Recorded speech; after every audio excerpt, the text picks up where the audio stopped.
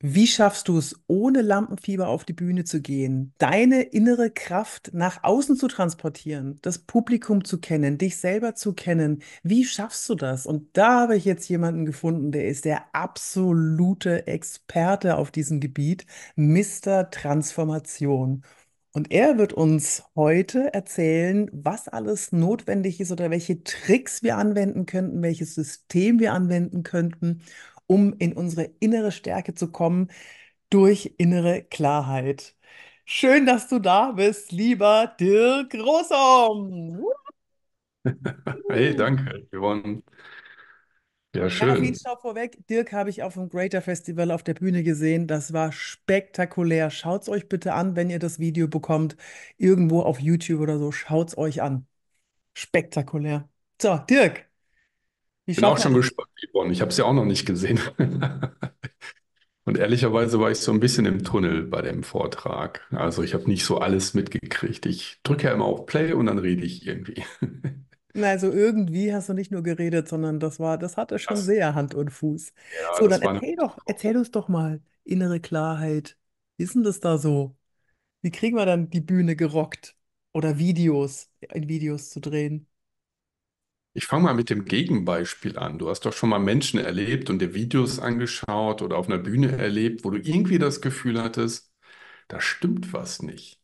Das wirkt irgendwie nicht authentisch oder nicht Mhm. glaubwürdig. Also das löst so einen inneren Zweifler automatisch aus, wo du dann schon skeptisch hinschaust. Und wenn du nicht glaubwürdig rüberkommst, gehen die ganzen Botschaften, die du sendest, automatisch durch einen bestimmten Filter beim Zuhörer. Und das ist häufig ein Hinweis darauf, dass die Person, die da spricht, sich irgendwas ausgedacht hat, aber das nicht als innere Klarheit wirklich fühlt. Mhm. Das heißt, angelernte Sprüche, Sätze, Techniken, die aber nicht tief in deinem Inneren verankert sind, Mhm. haben immer so eine Mini-Signatur von Unglaubwürdigkeit. Und wir Menschen als soziale Wesen, die auch gelernt haben, solche, ich sag mal, in Anführungszeichen Betrüger oder Scharlatane oder Gaukler zu identifizieren, wir haben da so eine Nase für. Und wenn wir das Gefühl haben, dass der Botschafter nicht glaubwürdig ist, kaufen wir seine Botschaft nicht. Als Schutzstrategie, total nützlich von der Natur gemacht. Und die wesentliche Aufgabe, die wir haben, wenn wir als Botschafter auftreten, ist die Botschaft im Inneren total klar zu haben und sie auch zu fühlen. Das Ja. ist die Essenz von allem. Alles, was, das ist der, die Kern, Keimzelle. Von dort aus entsteht alles andere. Und wie kommen wir in diese Klarheit? Also ich stimme in allem zu. Ja, wir haben da einen Sensor und der entlarvt ganz schnell, ob jemand authentisch oder nicht authentisch wirkt. Wobei wir das Fass jetzt nicht aufmachen wollen mit Authentizität, weil ich ein großer Verfechter von situationsadaptiver Authentizität bin. Und nicht nur, und wenn du auf die Bühne gehst, sollst du bitte situationsadaptiv authentisch sein. Das heißt, du bist da in einer Präsentationsrolle und du bist in einem Sendemodus. Und der muss auch so sein, sonst erreichst du dein Publikum ja gar nicht, genauso vor der Kamera. Du musst ja wissen, was du vermitteln möchtest. Trotzdem ist die Basis von allem innere Klarheit, weil jemand, der uns was vorspielt, den erkennen wir sofort. Das, das, das, das, da stimme ich tausend Prozent zu. Aber wie kommen wir denn in die innere Klarheit? Also die Frage ist ja erstmal, was sind deine Kernbotschaften, die du senden möchtest? Ja, egal, ob du jetzt in einem Video bist, also vor einer Kamera oder auf einer Bühne oder in einem Verkaufsgespräch. Was sind deine Kernbotschaften? Und zu welchen Kernbotschaften bist du innerlich klar, wo du sagst, dort habe ich ein stimmiges Gefühl dazu? Und ihr kennt Verkäufer, wenn die Sachen verkaufen, wo sie selber aber gar nicht hinter dem Produkt stehen, merkst du sofort. Ja. Und du kennst aber auch Superhero-Experten, die dir irgendeine Lebensweisheit um die Ohren schnallen wollen, wo du spürst, hat er noch nie selber gemacht. Oder diese Trainer, die dir alle erzählen, wie geil die Feedback-Technik sind, aber im eigenen Team den Quatsch gar nicht anwenden. Das riechst du und spürst du. Ja? Und deswegen ist die Frage, was sind meine Kernbotschaften und hinter welcher dieser Botschaften stehe ich zu 100 Prozent und bei welchen noch nicht? Und dann ist die Frage, in sich selber hineinzuschauen, in das innere Team, wer von meinen inneren Spielern ist von dieser Botschaft noch nicht überzeugt? Was meinst du Wer ist Spielern? dort im, im Zweifel, bitte? Was meinst du mit Spielern? Ähm, innere Spieler nenne ich, ähm, ich habe ein Kartenspiel entwickelt, das nennt sich Teamplay und innere Spieler sind 21 Persönlichkeitsanteile. Und wenn du jetzt zum Beispiel auf die Bühne gehst und du sagst, ähm, mein Mentor möchte diese Botschaft senden, aber dein Zweifler ist nicht überzeugt davon, dass diese Botschaft auch tatsächlich für diese Zielgruppe funktioniert. Das sind zum Beispiel Karten. Mentor und Ja. Zweifler sind zum Beispiel Karten. sind zwei Karten. Ja, das kann man jetzt im Okay. Podcast nicht gut zeigen. Es ist ein Kartenspiel, was ich Ja, aber wir, es ist auch auf Video. Okay, Zeig mal hier, dann, ihr Lieben, die ihr Wirke, wie du willst Podcast anschaut, dann schaut euch das YouTube-Video bitte an. Und natürlich Kanal abonnieren. So, Dirk hat es gerade in die Hand in, reingehalten, ja. Das sind so kleine Karten. Ich habe die So konvertiert man. Podcast-Zuhörer zu YouTube-Abonnenten. Das habe ich jetzt auch verstanden. Ja, du hast sie natürlich auch. So, und ähm, das Spannende ist jetzt, ähm, jedes Wort, was du sagst, sendet einer dieser Spieler. Mal ist das der Clown, mal der Realist, mal der Mentor, mal der Verbinder, mal der Liebende, mal der Umsetzer. Immer, also jedes Wort gehört einem dieser inneren Spieler. Und das Spannende ist jetzt, bei deinen Zuhörern hört immer einer dieser Spieler zu. Und das ist wie so ein, Inter also wenn du jetzt äh, Lebensweisheiten zum Beispiel teilen möchtest, dann hört bei deinem Zuhörer der Selbstentwickler zu. Wahrscheinlich aber auch der Schöpfer, der daraus neue Ideen entwickelt, was er für sich da wie tun kann. Es kann aber auch sein, dass dann der Realist nochmal dazwischen funkt und sagt, "Hm, wann sollen wir denn das noch machen? Oder der Planer, der sich schon überlegt, nächste Woche Montag wäre eine gute Möglichkeit. Und das ist so ein inneres Gedankenspiel, so ein Ping-Pong, was da stattfindet, wie so ein Ballpass im inneren Team, wo dann der Ball von dem einen zum anderen geschossen wird und diese Gedanken dann in den Zuhörern fließen. Und richtig klar, deswegen innere Klarheit, bist du, wenn du weißt, ich habe diese Botschaft und ich möchte die von diesem Spieler senden, zum Beispiel der Mentor, und ich möchte bei den Zuhörer den Selbstentwickler damit erreichen. Das ist spannend, oder? Wenn wir wissen, mit welchem Spieler senden wir, um welchen Ja. Spieler beim Zuhörer zu erreichen. Und das ist dann völlige Klarheit, welche Persönlichkeitsanteile hiermit miteinander in Interaktion sind. Ja, jetzt wird es richtig spannend, weil ich unterscheide jetzt nochmal zwischen, wenn ich auf die Bühne gehe, dann, du redest ja immer von den größeren Anteilen, zum Beispiel, wenn der, wenn der, der Zweifler gerade groß ist, in dem der gerade ein blaues Hemd anhat da, der sitzt vor mir und der Zweifler ist groß und äh, der sagt dann, hm, ich weiß nicht, ob ich das so umsetzen kann oder stimmt das denn alles? Und äh, dann schießt wieder was anderes. Das ist so die Grund, die Grundtypen, die dann da, ähm, bei denen was Größeres dabei ist. Zum Beispiel der Zweifler ist groß oder der Schöpfer ist groß und so weiter. Ich weiß natürlich nicht, wen ich da im Publikum sitzen habe. Deswegen sagst du, ich soll mit meiner ganzen inneren Klarheit, was ich bin und was ich senden will, auch das Publikum mit einbeziehen. Das heißt, auch dem Publikum verschiedene die verschiedenen äh, Karten, die verschiedenen Spieler des Publikums bedienen. So, und jetzt kommt was, was mir als Schauspielerin öfter mal vorgeworfen wird, im privaten Bereich, ich bin ja 30 Jahre vor der Kamera gewesen, da wird mir nicht vorgeworfen, aber habe ich neulich gehört, ähm, ja, du, äh, kannst du überhaupt du sein? Und ich so, äh, ich bin immer ich, ich bin nur in der Lage und ich habe den Mut, all das rauszulassen, was gerade da ist, Impulsen nachzugeben. So, das siehst du auch in meinen Videos, wenn ich dann äh, irgendwas erzähle über Körpersprache. Ja, ich weiß, das ist, weißt du, dann, dann wechsle ich plötzlich die Emo Emotion und lass das raus. Habe ich das jetzt wirklich gesagt? So, dieses, dieses schnelle Wechseln und ich könnte mir vorstellen, dass das die im Publikum die verschiedenen Spieler alle ganz schnell hintereinander anschubst, so den, den, der, der Informationen möchte, der, der unterhalten werden möchte, der, der ein bisschen was Weicheres, der Liebe braucht und so weiter. Und das wechsle ich in den Videos relativ schnell ab, weil ich allem nachgebe, was ich dann da mache. Und das wird mir aber dann als unauthentisch vorgeworfen. Das ist aber nicht so. Ich bin einfach äh, in der Lage, das schnell zu wechseln. Du, du schaust so aufmerksam zu, weil wenn ich so rede, das tut mir gut. Aber jetzt ist eigentlich deine Bühne, Dirk.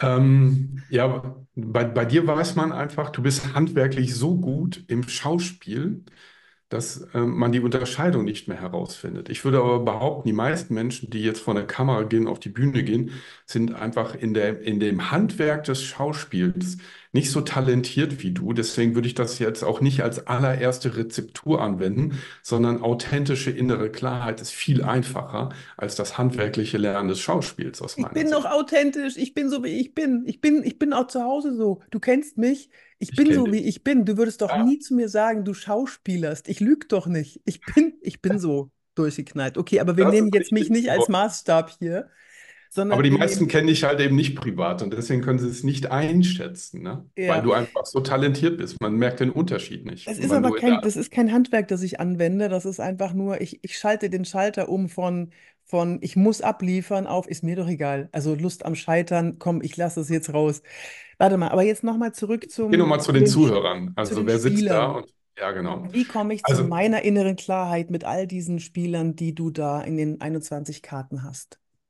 Ich mache nochmal im, ähm, im Publikum sitzt der Zweifler. Das wollte ich nochmal eben aufnehmen. Das Okay, ja, eine das ist gut, eine ja. Vorlage. Also am Ende wollen alle Menschen nur gesehen werden. Und zwar der Anteil, der gerade der Kapitän ist. Also habe ich in meinem Vortrag zum Beispiel, habe ich eingebaut in eine, eine, hey, wer findet Handhebespielchen alle doof? Und dann gehen die Hände hoch und das waren die Rebellen. Und die Rebellen haben sich gefreut, dass sie sich mal als Rebellen zeigen konnten. Ja? Das Mhm. heißt, ich wusste, im Publikum sitzen Rebellen, weil sonst geht man nicht zu einem Greater Festival, da gibt es immer einen Anteil Rebellen, also die, die nach großem Sinn suchen. So, und die habe ich integriert. Und wenn du da weißt, in deinem Publikum sitzen zum Beispiel Zweifler, weil du Ingenieure oder ich sag mal sehr, ähm, ich sag mal tiefdenkende Menschen da sitzen hast, dann kannst du auch Folgendes machen. Du kannst die Zweifler einladen und sagen, ja, ich weiß, für einige von euch hört sich das jetzt viel zu einfach an. Und den Zweifel kann ich komplett nachvollziehen. Der ist trotzdem ein Urteil vor der Erfahrung. Und deswegen ist die Einladung an alle die, die jetzt gerade einen Zweifel haben, mal eine echte Erfahrung zu machen. Cool.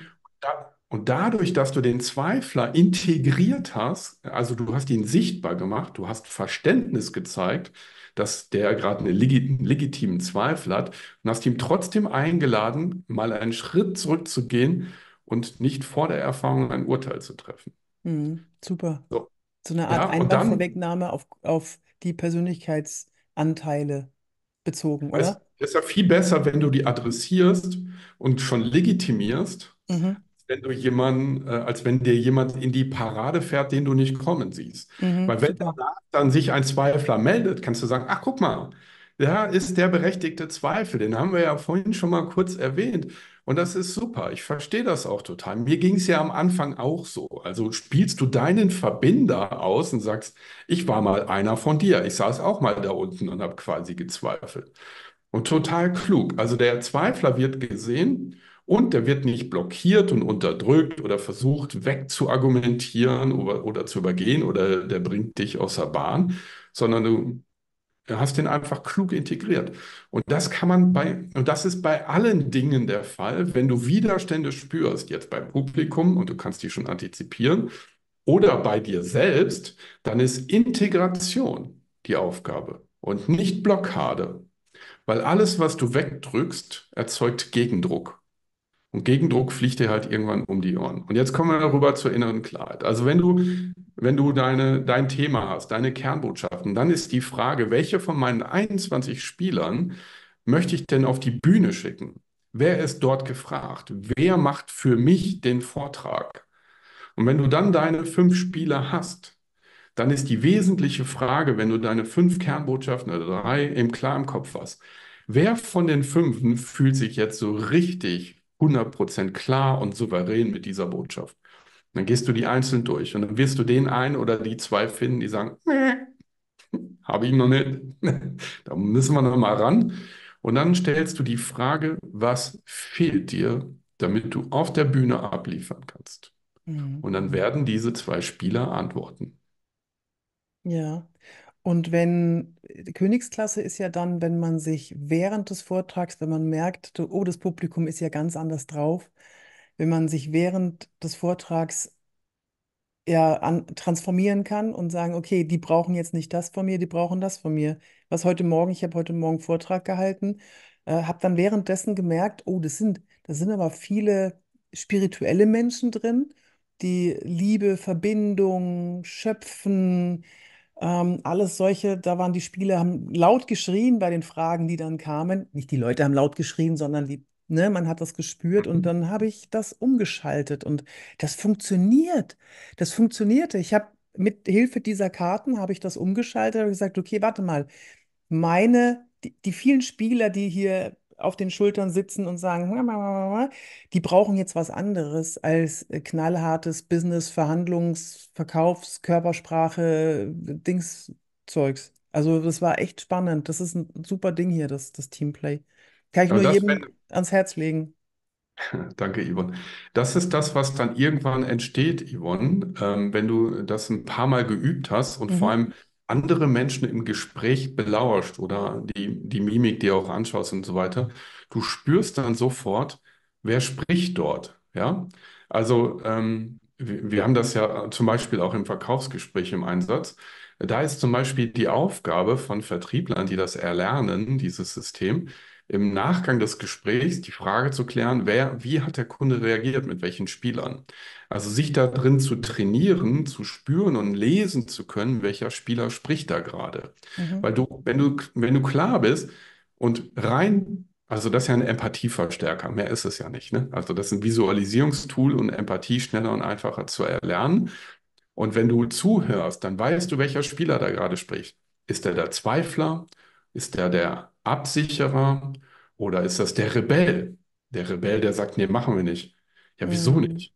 Ja, das heißt, du hast das Warum nicht geklärt. Also du hast keinen Nutzen rübergebracht, weil sonst wird der Rebell nicht direkt auf Attacke gehen.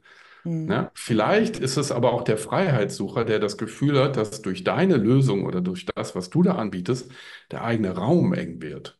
Dann kann es sein, dass der Freiheitssucher stört.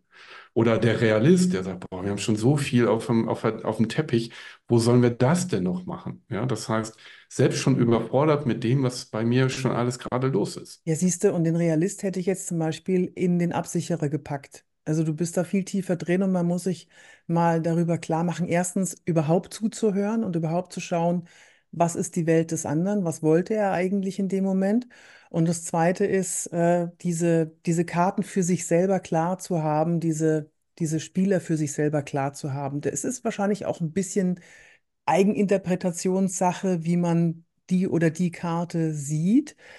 Ähm, ich habe trotzdem immer ein Problem, wer ist es denn jetzt eigentlich? Ist es der Realist oder ist es der Absicherer? Und äh, gibst du da Kurse? Kannst, dass man sich da mal einfach mal ein paar Stunden damit beschäftigt? Brauche ich So, in ich habe hab ein Basisseminar, das ist äh, Mentalkraft, Entscheidungskraft, Umsetzungskraft und dort lernst du in der Tiefe dieses ganze Team kennen, weil egal was in deinem Leben gerade noch nicht gut funktioniert, hat das immer auf diese drei Faktoren zurückzuführen.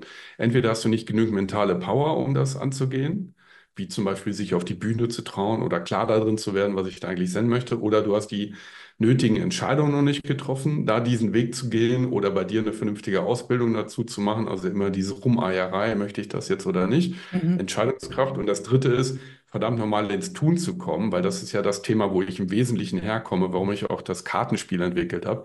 Die Menschen haben einfach eine Störung mit Veränderung. Das ist alles immer zu anstrengend, zu komplex, zu schwierig und selten mit Erfolg gekrönt. Und die Fähigkeit zum verlässlichen Umsetzen neuer Verhaltensweisen oder neuer Projekte oder neuer Ziele, das ist das, was die meisten Menschen aus meiner Sicht von ihrem Potenzial fernhält.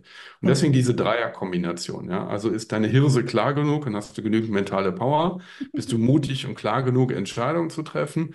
Und kommst du dann auch verdammt nochmal ins Tun, ohne deine billigen Ausreden immer wieder vorzuschieben? ja, und dich selbst zu betrügen. Und das ist der Grund, warum die Menschen in ihrem Selbstvertrauen kollabieren, weil sie sich jeden Tag selber einen in die Tasche lügen. Ja, ja. und das, ihr merkt schon, das ist kein Entspannungsseminar. Ja, wie lange dauert das? Drei Tage. Drei Tage, drei volle Tage. Drei Tage und danach ist ähm, führst du ein, in der Kern, im Kern ein anderes Leben, weil du dann nur noch in Selbstverantwortung denkst. Also weg von diesen Opferspielchen, ja, die Politik ist schuld, mein Chef ist schuld, mein Partner ist schuld, meine Kinder sind schuld, Schuld, Schuld, Schuld, Schuld.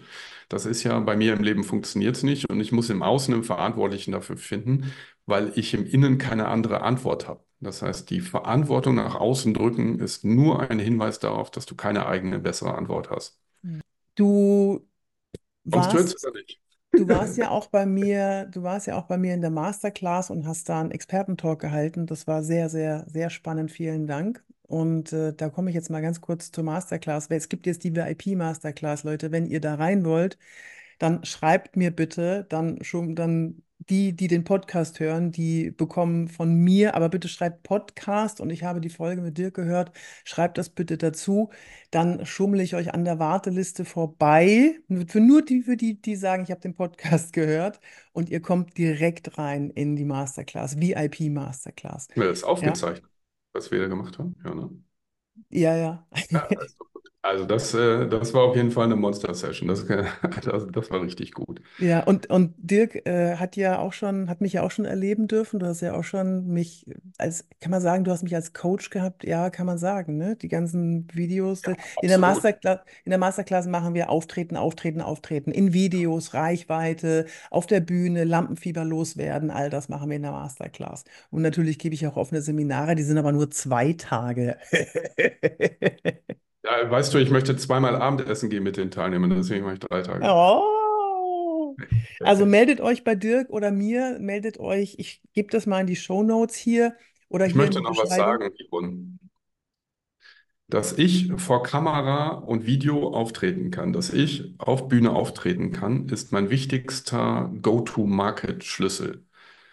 Das heißt, Vertrieb und Kunden und die passenden Kunden und die richtigen Kunden kriege ich deshalb, weil ich A, innerlich klar bin und diese Klarheit auch in die Kamera bringe oder halt auf eine Bühne. Und das ist mein absolut wichtigster Vertriebsbaustein. Könnte ich das nicht, also ich bin ein ganz schlechter Texter, also jetzt Menschen faszinieren durch Texte, ist nicht meins. Ne? Aber ich kann klare Botschaften senden und Hil Hilfe für bestimmte Themen. Und wenn ich das nicht über Videos in die Welt tragen kann, dann bin ich einfach nur hier an meinem Karlsplatz in Düsseldorf und kann hier alle Nachbarstände einmal abklappern, von der Wurst bis zum Wein und hoffen, dass die dann irgendwann Kunden werden. Also die, mich und meine Botschaften äh, skalierbar zu kriegen, das war für mich ein Schlüssel zu dem Erfolg, den ich gerade habe. Und äh, da, ich weiß gar nicht, wie lange das her ist, es ist bestimmt sieben, acht Jahre, Sieben, wo du acht noch Jahre, neben mir ja. gesessen hast und mir gesagt hast, boah, Dirk, hör auf mit den Händen, oh, stell dich mal gerade hin. Wie wär's mal mit Lächeln? Mal auf, so, so Stimmt, ein ernst zu gucken. Ne? Lächeln. Ja, das stimmt, ich habe ja erinnere immer so eine, so eine Stirnfalte hier, wenn ich konzentriert bin und so. Also das, das war schmerzhaft und hilfreich. Danke, Danke noch. Mir hat Spaß gemacht. Für mich war es gar nicht schmerzhaft.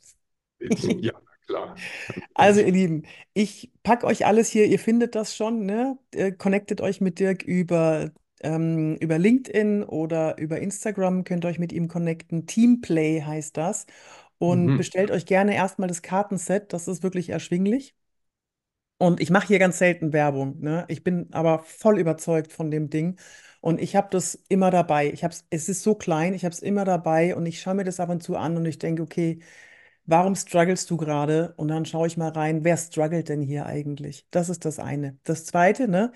Entweder ihr setzt, lasst euch auf die Warteliste setzen, da gibt es noch einen Bonus, wenn ihr, wenn ihr auf die Warteliste wollt zu dem Masterclass. Oder ihr sagt, nein, ich finde das so geil, ich möchte sofort rein.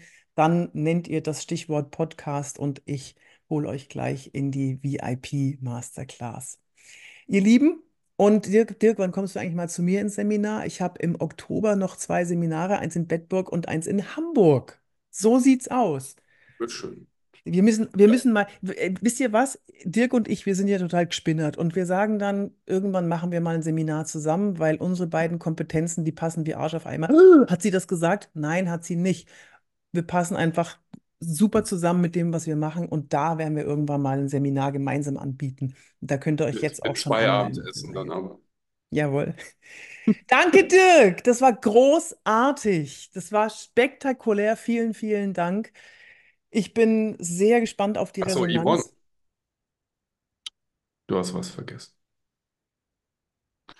Wir zwei haben zusammen ein Playbook geschrieben, Bühnenängste auflösen. Oh ja, Da stimmt. ist die Kombination aus deinen wesentlichen äh, Inputs, weil, wie man die Bühnenängste auflöst und wie das mit dem Kartenspiel zusammengeht. Das hauen wir auch nochmal in die Shownotes rein, würde ich sagen. Ist mir Genau. gerade aufgefallen. Ja, stimmt. Äh, ja, stimmt. Creator So, jetzt aber. Ja. Schaut bitte, Ciao. schaut bitte in die Shownotes oder in die Beschreibung, da seht ihr das alles. Vielen, vielen Dank, lieber Dirk. Ich wünsche dir einen ganz tollen Tag. Ich wünsche euch einen ganz tollen Tag.